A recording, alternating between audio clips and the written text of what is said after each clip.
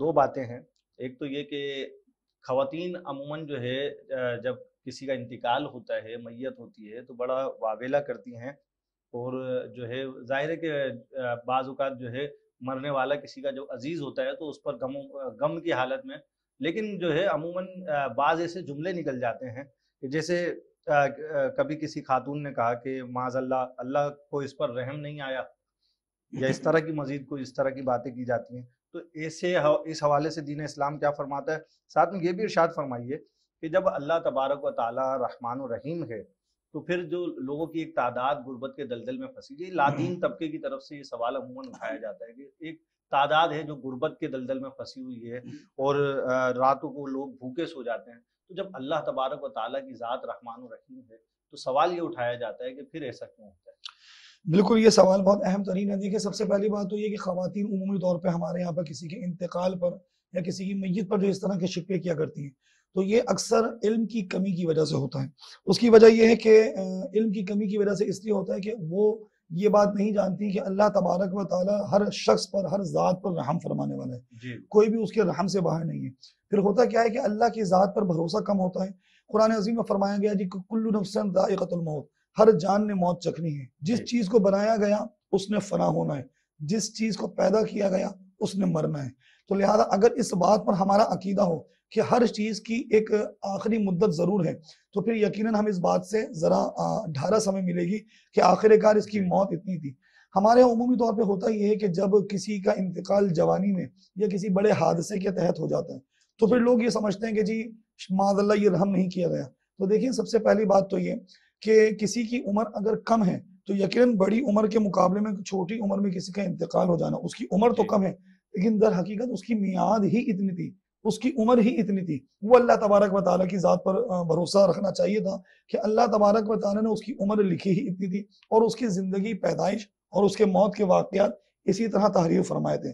दूसरी अहम तरीन चीज़ ये कि जब हम अल्लाह की ज़ात पे भरोसा करते हैं और किसी का इंतकाल हो जाता है तो यकीन हमें इस्लाम उस पर गम मनाने की इजाज़त देता है उस पर रोने धोने की हमें इजाज़त देता है क्यों? चूँकि फितरी तकाजा है। इंसान को उनसीत होती है रिश्तेदारी होती है तो इसकी हमें इस्लाम ने इजाज़त दी तीन दिन के सोख की भी इजाज़त दी गई है। लेकिन ये बात इशाद फरमाई गई कि उन चीज़ों को ये समझना चाहिए कि चीज़ें अमानत है अल्लाह तबारक वाली की। फिर इसी तरह जो आपने भूख वाला मामला सवाल उठाया तो सबसे पहली बात तो देखिए ये कि अल्लाह तबारक व ताला ने ये वादा कहाँ फरमाया कि मैं अपने हर बंदे को अमीर रखूँगा। जी। सबसे अहम तरीन चीज़। फिर दूसरी बात ये कि अगर किसी को भूखा रखना ही मकसद होता तो फिर इस्लाम में जक़ात का तस्वुर क्यों होता? जी।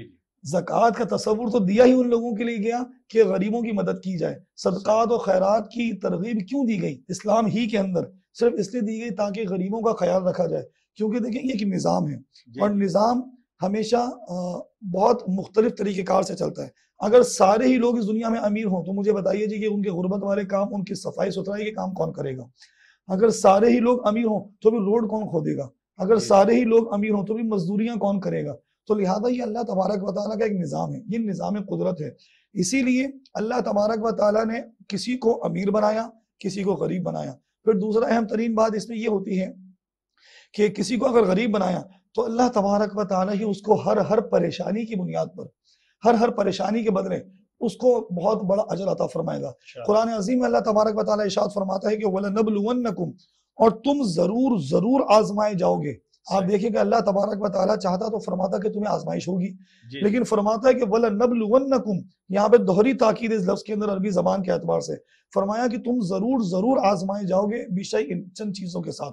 मिनल खौफी कभी खौफ से वल जो कभी भूखो प्यास से व नक्स मिनल अमवाल कभी माल की कमी से वल अनफुसी कभी अपनी जान से कभी बीमारी से वल समरात कभी माँ बाप की कमी से कभी औलाद की तकलीफों से। तुम्हारी आजमाइश तो ज़रूर होगी और आजमाइश क्यों होगी? आजमाइश इसलिए होगी कि तुम्हें उसके बदले आखिरत में बड़े बड़े इनाम दिए जाएँ। शाहरुख भाई गौर कीजिए पहले लोगों की उम्र छह छह सौ साल आठ आठ सौ साल नौ नौ सौ साल।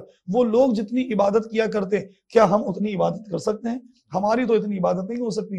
लेकिन महबूब करीम सल्लल्लाहु अलैहि वसल्लम के सदक़े आपकी रहमत के सदक़े हम पर यह करम किया गया कि अगरचे हमारी आजमाइश है, लेकिन हमारे मुख्तसर अमल के अंदर हमें बहुत बड़े इनाम दिए गए। हमारी थोड़ी सी आजमाइशों के अंदर हमें बहुत बड़ी तकलीफों से निजात अता फरमाई गई।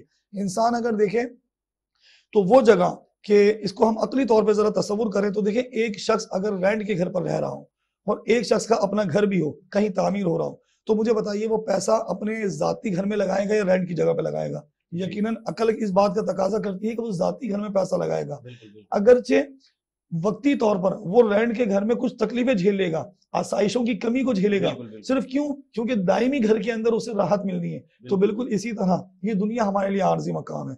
हमारे लिए इम्तिहान की जगह है। यहाँ हम आर्जी तौर पर अगर तकलीफ़ में रहेंगे तो आखिरत में हमारे लिए बहुत बड़े इनाम हैं।